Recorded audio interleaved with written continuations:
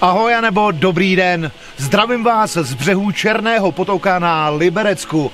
Ale já vám dneska představím Bílý potok, což je obec v tom samém regionu a je tak turisticky atraktivní, že se vám do ní určitě bude chtít dorazit. Tak jdeme na to. Obec Bílý potok leží ve Frýdlandském výběžku nedaleko města Hejnice.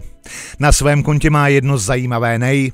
Je místem s největším ročním průměrným úhrnem strážek v České republice.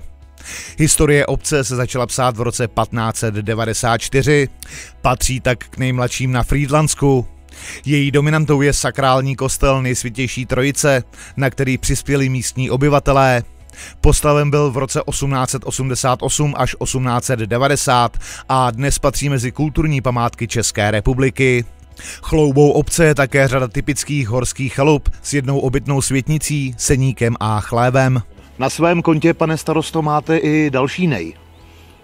Ano, je to, jedna, je to naše část obce Bílý potok, která patří mezi nejvýše položený v Jizerských horách. Teď jsme v místní části Smědavá. Čím je turisticky zajímavá, pane starosto? Turisticky je zajímavé to křižovatka, je vlastně na, na Jizerkách, kde se dostanete odtud do Liberce, Jablonce, na druhou stranu na nejvyšší českou horu Jizerek Smrk, dále do Polska, dostanete se do Harachova, do Kořenova, nebo na, na čtvrtou stranu přes Friedland i do Německa. Takže předpokládám, že teď v létě cyklistika a v zimě běžky. Je to tak, nejsou tady sjezdovky, takže pro běžkaře upravované trasy od jizerské společnosti, křižuje tady trasa jizerský magistrály, trasy jsou upravené, občerstvení zajištěný. Přes léto samozřejmě cyklistika, turistika, protože je tady spousta vyhlídek, možností procházek, možnost se dopravit sem autobusem pro méně zdatný turisty a podobně. Ze Smědavy míříme k vyhlídce Paličník, ze které je vidět nejen obec Bílý potok, ale celý frýdlandský výběžek. V případě dobré viditelnosti pak je vidět i do sousedního Polska a Německa.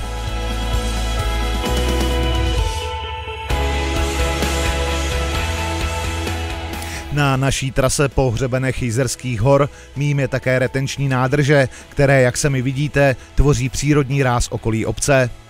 Vyhledávané pěší a cyklistické trasy nabízejí neopakovatelný pohled na Jizerské hory, ale i na Krkonoše. A mají tu i borůvky.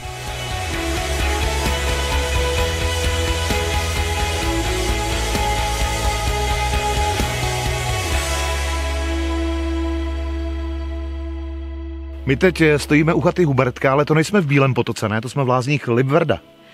No tak teda to jste mě zaskočil, protože já jsem vás chtěla přivítat, že jsme v Bílém potoce. Břeh chata Hubertka je v katastru obce Bílý potok. Ano, ano, od nepaměti. To je teda... to sice taková hraniční hmm. už chata, ale prostě jsme pořád v Bílém potoce. Mimochodem je tady úplně vynikající chleba se sádlem a se škvarkama posypaný cibulkou, ale já jsem viděl e, nějakou eh, skupinu dam, který šli tam tím směrem. Co tam je? Tam je taky něco? Tam tím směrem asi 20-50 metrů pod námi je jedna z nejbližších vyhlídek eh, z Bílého potoka Kočičí kameny. Mm-hmm.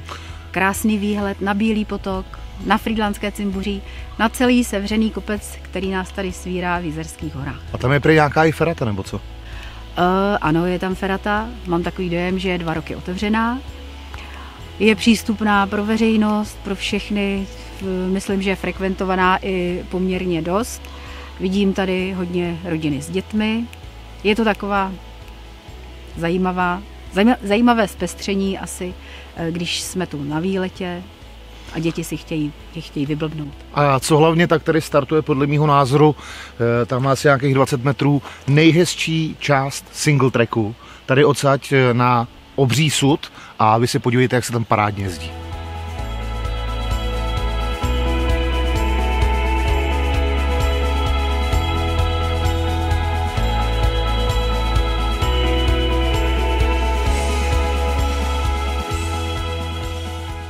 Cestou z kočičích kamenů míme rekreační zařízení Zerka, kde je možné se ubytovat ve dvou hlavních budovách nebo 14 chatkách.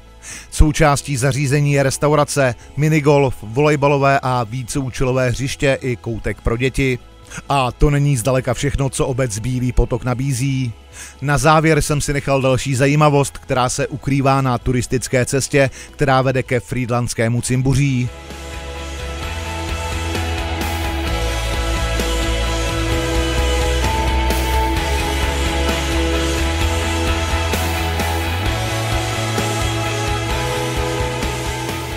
Dalším velice atraktivním místem, které za to stojí při návštěvě Bílého potoka navštívit, je tahle nádhera. Tak kde to jsme? Nacházíme se na zelené turistické značené cestě směrem eh, na Frýdlandské cimbuří a dál na polední kameny a do nitra Jizerských hor.